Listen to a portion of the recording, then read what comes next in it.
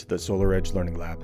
This video will guide you through installing the cellular plug-in on a SolarEdge single-phase inverter with HD-Wave technology. Prior to beginning work, always ensure the system is de-energized. Turn the inverter on-off switch to the off position. Allow the DC voltage to bleed down below 50 volts DC. Turn off the DC safety switch, and then turn off AC power. Remove the top cover The cellular plug-in will mount on the interface labeled cellular on the right-hand side of the communications board. Be careful to line up the pins and install by gently pressing into the communications board.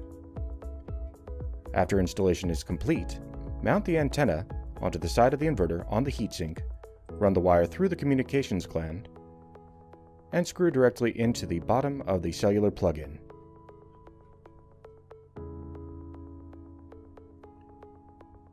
After installation is complete, turn AC power back on and replace the top cover.